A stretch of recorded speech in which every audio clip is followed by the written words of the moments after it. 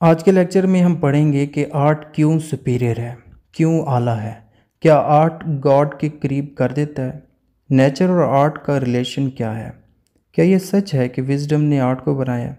ये सब और बहुत कुछ आज के इस लेक्चर में जानने वाले हैं तो चलते हैं लेक्चर की तरफ़। इजिप्ट में पैदा होने वाला ये ग्रेट राइटर अपने इस वर्क में आर्ट को बहुत ज़्यादा लाइक करता है और कहता है कि भाई आर्ट सब चीज़ों से सुपीरियर है। इस बात से ये शो होता है कि इस राइटर को आर्ट की ब्यूटी से मोहब्बत थी। ये राइटर कहता है कि आर्ट क्या है? ये जानने के लिए पैटर्न और अनपैटर्न स्टोन की एग्जांपल देता है। पैटर्न पत्थर वो है जिसे एक आर्टिस्ट ने बनाया।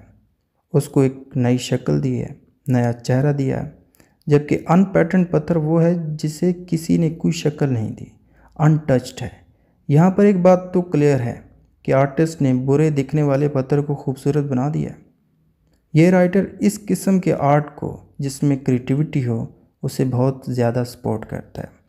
ये राइटर कहता है कि हर चीज़ में गॉड ने ब्यूटी रखी है, मगर एक आर्टिस्ट ही है उस छुपी हुई, उस हिडन ब्यूटी को बाहर लेकर आता है। उस ब्यूटी को निखारता है। उस आर्ट की ब्यूटी को ना, अपनी इंटेलेक्चुअल ब्यूटी से एक नई शक्ल देता है।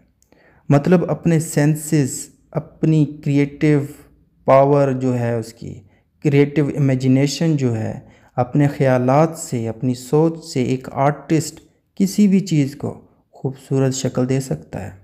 ग्रीक गॉड जो है जियोस किसने देखा था? ये जो आपको नज़र आ रहा है, किसी ने भी नहीं देखा था। मगर आर्टिस्ट ने अपने ख्यालात थॉट्स के ज़रिए जियोस की शक्ल बनाई है। और एक कमाल का आर्ट बनाकर दुनिया को दिया है। आज सब, हम सब जानते हैं कि ये जियस का आर्ट है। इसके बाद ये राइटर कहता है कि आर्टिस्ट नेचुरल ऑब्जेक्ट्स को इमिटेट करके कॉपी करके उनको नई शक्ल दे सकता है। मतलब केटू माउंटेन एक खूबसूरत नेचुरल ब्यूटी है। एक आर्टिस्ट इस पहाड़ को इमिटेट करके कॉपी करके नई शक्ल दे सकता है। उसको अलग तरीके से बना सकता है। वैसे इसका मतलब ये हुआ कि आर्टिस्ट अपनी डिज़ायर के मुताबिक किसी भी नेचुरल ऑब्जेक्ट को ना एक फॉर्म, एक नई शक्ल दे सकता है। यही वजह है कि आर्ट सुपीरियर है।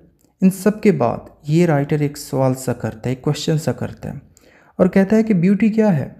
इस सवाल का जवाब देते हुए कहता है कि हेलन दुनिया की खूबसूरत तरीन लड़की थी। तो दूसरी तरफ़ एफ्रोडाइट थी, जो गॉडेस ऑफ़ लव थी। ये दोनों दिखने में बहुत ही खूबसूरत हैं। मगर आप में से कुछ लोगों को हेलन खूबसूरत लगेगी और कुछ को एफ्रोडाइट खूबसूरत दिखेगी। यहाँ से ये बात तो साबित हो गई है कि ब्यूटी जो है वो देखने वाले इंसान के अंदर है। यानी आप खुद ही तय करते हैं कि फ़लाँ चीज़ में ब्यूटी है या नहीं। ये राइटर ये भी कहता है कि ब्यूटी का तलक साइज़ से नहीं होता, ब्यूटी का तलक हमारी सोच, हमारे माइंड में बसे आइडियाज़ से होता है। और हाँ ब्यूटी हमेशा तब आती है जब हम स्पिरिचुअल ब्यूटी के करीब होंगे। जब हम स्पिरिचुअल ब्यूटी को समझ लेंगे तो हम गॉड के ऑटोमेटिकली करीब हो जाएँगे। यानी यहाँ पर ये राइटर इनर ब्यूटी की बात कर रहा है। आपके अंदर जितनी भी इनर ब्यूटी होगी, उतनी ही स्पिरिचुअल ब्यूटी बढ़ेगी। हम किसी भी इंसान को देखकर अपना एक किस्म का डिसीज़न दे देते हैं। मगर हमने उस इंसान की इनर ब्यूटी को नहीं देखा और ना ही समझा। लेकिन हमारी जजमेंट तय है।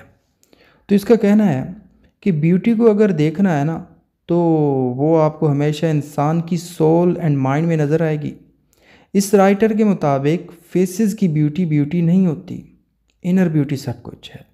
आखिर पर कहते हैं कि ब्यूटी को समझना है ना तो ख़ुद में तलाश करो, ख़ुद में देखो। उम्मीद करता हूँ इस राइटर का ये कंसेप्ट ऑफ़ ब्यूटी आपको यहाँ तक समझ आ गया होगा। इसके बाद ये ग्रीक गॉड्स की बात करता है और कहता है कि चाहे इनकी जैसे भी शक्लें हों, इनकी बॉडी जैसी भी हो, ये सब मैटर नहीं करता। आज अगर ग्रीक गॉड्स पॉपुलर है ना तो ये अपने इंटेलेक्ट की वजह से हैं और उन आर्टिस्ट की वजह से हैं जिन्होंने बनाया है। क्योंकि हमें तो नहीं पता था कि ये गॉड्स कैसे दिखते हैं। तो ये आर्टिस्ट की ब्यूटी की वजह से हमें ये नज़र आ रहे हैं। ये राइटर अपने वर्क में मज़ीद हेयर एंड देयर की कंसेप्ट की बात करता है। हेयर एंड देयर के मतलब बात करता है। हेयर की बात करें तो ये वो दुनिया है जहाँ पर हम रह रहे हैं। और आप मेरा लेक्चर सुन रहे हो। मतलब फ़िज़िकल वर्ल्ड जबकि देयर का मतलब है डिज़ायर वर्ल्ड यानी वो दुनिया जिसकी हमें ख्वाहिश होती है। ये हेवन भी हो सकता है। अब ये राइटर कहता है कि आर्ट ना सुपीरियर है। क्यों? क्योंकि आर्ट वर्ल्ड ऑफ़ देयर को ना वर्ल्ड ऑफ़ हेयर के साथ मिलाता है। यानी आर्ट ही के ज़रिए हमें इमेजिनेटिव वर्ल्ड का पता चला। और जिस दुनिया में हम रह रहे हैं, उसका भी पता आर्ट ही ने दिया है। और हाँ यही आर्ट हमें गॉड के करीब भी करता है। क्योंकि जिस चीज़ की इमिटेशन हम करते हैं ना, वो ऑब्जेक्ट वो इंसान, वो ब्यूटी गॉड ने ही बनाई है। इसके बाद ये राइटर विजडम की बात करता है। हम जो भी चीज़ें हम बनाते हैं ना, उसके पीछे विजडम होती है। विजडम ही की वजह से आर्ट में खूबसूरती आती है। तो उम्मीद करता हूँ ये लेक्चर आपको पसंद आया। पसंद आया तो लाइक कीजिएगा सब्सक्राइब कीजिएगा, अपना फीडबैक कमेंट में देना ना भूलिएगा और इससे रिलेटेड जितनी भी थ्योरीज़ हैं मोमेंट्स हैं, वो आपको डिस्क्रिप्शन में या प्लेलिस्ट में मिल जाएँगी। Thank for watching this